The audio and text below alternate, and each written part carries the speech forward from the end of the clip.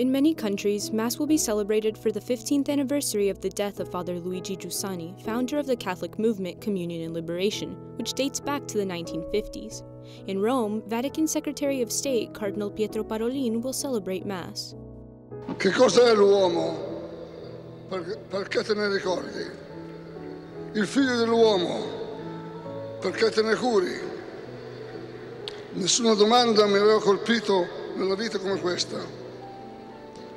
C'è stato un solo uomo al mondo che, poteva, che mi poteva rispondere, ponendo una nuova domanda. Qual vantaggio avrà l'uomo se guadagnerà il mondo intero e poi perderà se stesso?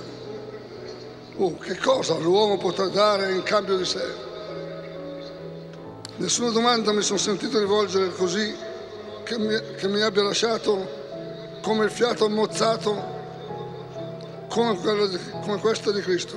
Don Giussani a nosotros nos ha comunicado. Father Giussani has communicated Christianity to us by showing that one lives much better, one responds much better to the challenges of life, to the dramas of living, and to the beautiful things that happen in life when one has encountered Christ.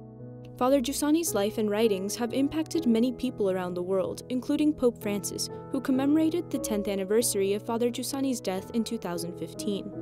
Il riferimento all'eredità che vi ha lasciato Don Giussani non può ridursi a un museo dei ricordi, di decisioni prese, di norme di condotta.